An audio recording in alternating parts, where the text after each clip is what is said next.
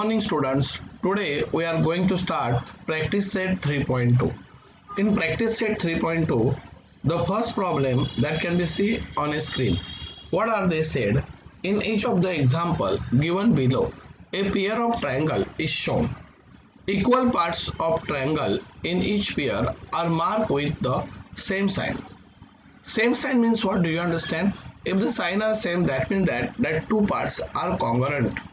Observe the figure and state the states by which the triangle in each pairs are congruent. Okay. So see, this is the first triangle. This is the ABC triangle and this is the PQR triangle. Okay. So these are the two pairs, one pair of the triangle that AB having one identical mark same identical mark having in PQ. So we can say AB is congruent with PQ.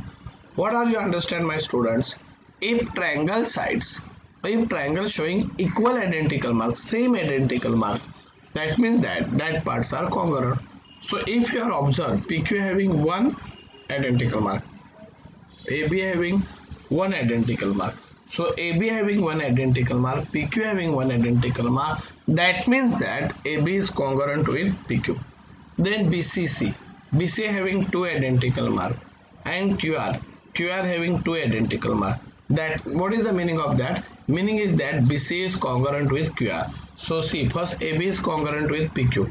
A side is there. BC is congruent with QR. Another side is there. So S S. Then what about AC? AC having three identical marks. AC having three identical marks and PR also having three identical marks. So AC having three identical marks, PR having three identical marks. So AC sides and PR sides they are congruent. So by SS test means first AB congruent PQ S, BC congruent QR S, AC congruent PR S. How many S? 3S. So the triangle ABC and triangle PQR congruent by SSS test. Are you understand? Then second diagram. See this is the X, Y, Z and this is the LMN. So see XY having one identical mark. LM having one identical mark. Their meaning is that XY is congruent with LM. XY is congruent with LM. Why XY is congruent with LM? Because XY having one identical mark and LM having one identical mark. So the identical marks are same. So they are congruent. So XY is congruent with LM. So this is what S. Then see Y angle. They are showing such a identical mark. So same identical mark having an element M. So Y and M they are having same identical mark. So this Y is congruent with M. So this Y is congruent with M. So this is side after that angle. Then YZ having two identical mark. YZ having two identical mark and MN having two identical mark. So YZ is congruent with MN. So this is side, this is angle and this is side. So SAS according to SAS test triangle XYZ and triangle LMN are congruent. Okay, anyone doubts? If you are doubt you can ask me. Then this is the triangle PQR and this is the triangle sorry you are taken such a way PRQ. So this is the triangle PRQ and this is the triangle STU. So these are the two triangles they are said. So see P having such a direct and uh, such a mark they are showing curve and in that curve they are showing small circle see this is the curve showing and here having small circle in P. So same sign is having in S here. See, there is having same curve and same small circle. So we can say P is congruent with S. So this angle P congruent with angle S. So this is A. Then PR having two identical mark. Same two identical mark having on ST. So PR is congruent with ST. Why PR is congruent with ST? Because PR having two identical mark and ST is also having two identical mark. That means that PR side and ST sides are congruent. So PR is congruent with ST. then this r show they are having the curve and write their x same condition having here in t showing the curve and having their x so this r angle and this t angle are congruent so see p angle congruent with s a pr is congruent with st s. Then r is congruent with t r angle and t angle are congruent. So a. So a is 8 s so triangle prq triangle prq congruent with stu by a is 8 s here they are only say write the name of the test. So we are not right here. Okay? Then another diagram. See. This is the LMN. Okay LMN and this is the ptr so if you are observe this LM having one identical mark and this TP having one identical mark. So LM is congruent with TP. Then this M is 90 degree, this T is 90 degree. So M is congruent with T, each 90 degree. M is equal to what? 90 degree. T is equal to what? 90 degree. So major angle M is congruent with major angle T, 90 90 degree. Then 90 degree opposite side is hypotenuse. So ln is congruent with pr so hypotenuse ln is congruent with hypotenuse pr so ln is congruent with pr hypotenuse test. So by hypotenuse side test triangle LMN is congruent with ptr why it is hypotenuse? Remember my students when in the triangle they are having each 90 degree. See m is equal to 90 degree t is equal to 90 degree. That means that they are each 90 degree. So when you give reason each 90 degree then these two triangles are congruent by hypotenuse case do you understand? Then problem number second. Observe the information shown in the pairs of triangle given below. State the test by which two triangles are congruent. Write the remaining parts are congruent. Okay remaining parts congruent you want to write first you can write the name of the test. So see this is the ABC triangle and this is the PQR triangle. So in this triangle B angle is congruent with Q angle. I think that you are understand it. Why I say my students B is congruent with Q? Why? Why I say B is congruent with Q? Because B having see the mark identical mark curve and this small circle. This Q you are observe in Q curve and small circle. So this b angle and q angle they are having same identical mark. So they are having same identical mark. So angle b is congruent with q. So this is a then bc sides having two identical mark. Then qr sides having two identical mark. So segment bc congruent with segment qr segment bc congruent with segment QR. So BC is congruent with QR. So this is S. So AS. Then C angle C. Angle C. In this angle C, they are showing curve and this cross mark. So same having in R. They are having curve and cross mark. So angle C congruent with R. So C. B congruent Q. Angle A is there. A is there. BC congruent with QR, side is there, AS is there. Then C angle is congruent with R angle, A is there, ASA. So these two triangles are congruent by ASA test. So triangle ABC and triangle PQR, angle ABC congruent with angle PQR. The reason is given. Okay. Then segment BC congruent with segment QR then angle ACB is congruent with angle PRQ. Reason is given. So see angle side angle.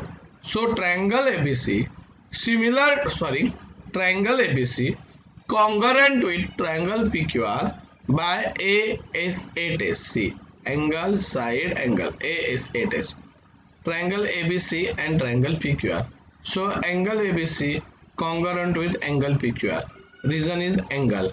Then segment BC congruent with segment QR. So segment BC congruent with segment QR. Then angle ACB congruent with angle PRQ. Okay. So angle side angle. So triangle triangle ABC are congruent with triangle PQR. What angle? Side angle. So ASA test they are congruent. Then remaining correspond remaining parts which is congruent which is not show. So so this angle. So angle BAC is congruent with QPR. So see here is written angle BAC is congruent with QPR. Remember my students in the triangle which you are showing congruent that you write first and you can write name of the disk. Afterwards you are showing the triangle congruent. Afterwards which sides are not show congruent which angle is not show congruent that you write that is called remaining. So see here is B and Q congruent here is C and R congruent. So only one angle is here A angle and here is only one angle P angle. So angle A and P are congruent you want to show. So how can you give name BAC? Angle BAC congruent with angle QPR. So I write here angle BAC congruent with angle QPR corresponding angle of congruent triangle. Then which side is not shown? C AB. AB is congruent with PQ. Then which is remain AC? AC is congruent with PR. Okay, such a way you can write the remaining parts which is write the congruence. So here is triangle PTQ and triangle STR. So these two triangles you want to show congruent. So see PT having two identical mark, ST having two identical mark. So PT is congruent with ST. Then QT having one identical mark, TR having one identical mark. So QT is congruent with TR. And see this shape is look like Damru or X. That means that these two angles are vertically opposite angle. So side angle side SS test these two triangles are congruent. So here is we show how can you write segment PT congruent with segment ST. Here is reason given segment PT congruent with segment ST given. Then angle see this is vertically opposite angle. So angle angle PTQ congruent with angle STR vertically opposite angle then segment TQ segment TQ congruent with segment TR so segment TQ congruent with segment TR so see side angle side SS test so triangle PTQ congruent with triangle STR by SAS test triangle PTQ congruent with triangle STR SA test SAS test. Okay? So remaining parts you can show congruent which is this Q. So this P angle is show congruent with this S angle vertically opposite angle. No this is the alternate angle settle okay? But here is your right congruent angles corresponding congruent angles are congruent. So angle TPQ this P angle is congruent with angle TSR Magashi we are already explained the which is not so congruent that uh, you can write. So P angle is congruent with S. So angle TPQ congruent with TSR. Then which angle is remain Q angle and which is then R angle. So that angle name you can give. So angle TQP, angle TQP is congruent with angle TRS. Okay, corresponding angle of congruent angles. So they are congruent. Then sides three two sides you are showing one side is remain only pq pq is congruent with sr very simple. Then another. From the information shown in the figure state the test assuming the congruent of abc and pqr write the remaining congruent parts of the triangles. So these are the diagrams showing to you. So this is the abc triangle and this is the PQR triangle. So see my students A is 90 degree and Q is 90 degree. So they are congruent by hypotenuse test. So triangle BAC, see, BAC and triangle PQR that you want to show congruent. First, segment BA that having one identical mark. Segment BA that having one identical mark. So segment BA congruent with segment PQ. Okay, given then A is 90 degree, Q is 90 degree. So angle BAC congruent with angle PQR 90 degree. Okay, then hypotenuse BC congruent with hypotenuse PR. and here is that I already explained BAC is congruent with PQR 90 degree. Segment BA congruent with segment PQ that is given. Segment BC congruent with segment PR that is given. Angle BAC BAC A angle 90 degree. Congruent with angle PQR Q angle 90 degree. That is given. So triangle BAC congruent with triangle PQR hypotenuse test. Okay. Then remaining parts you want to show congruent. That is only one thing. Means side only one. AC is congruent with QR corresponding CSCT means what C? C for corresponding S for side. Corresponding side C corresponding sides congruent triangle okay? Then another. This is the B angle is congruent with P angle. So name is ABC angle ABC congruent with QPR corresponding angle congruent with corresponding sides. So then angle C. So angle ACB congruent with angle PRQ okay? Or QRP meaning is same. So the reason is corresponding. C for corresponding. A for angle. Corresponding angle congruent triangle. Is that clear? C means what? Corresponding. A means what? Angle. This C means what? Congruent. This T means what? Triangle. So how can you read? Corresponding angle congruent triangles. Okay. Such a way so reason 4 as shown in the adjoining figure triangle LMN and triangle PNM LM is equal to PN. LN is equal to PM. Write the test which assure the congruence of two triangles. Write their remaining congruent parts. So this is the triangle LMN and this is the triangle PNM so triangle LMN LMN and triangle PNM so these two triangles is there so segment LM is congruent with segment PN LM having one identical mark PN having one identical mark so segment LM is congruent with segment PN. Then MN is common side between these two triangles. But what is given here identical mark 2 LN and here is PM2 means 2 2. So they are congruent. So LN is congruent with PM. So here is we should write segment LN is congruent with segment PM. Then if you are observe this MN is having in triangle LMN. This NM having in triangle PNM. So this sides is common side and whatever with the common they are congruent. So here is this is given.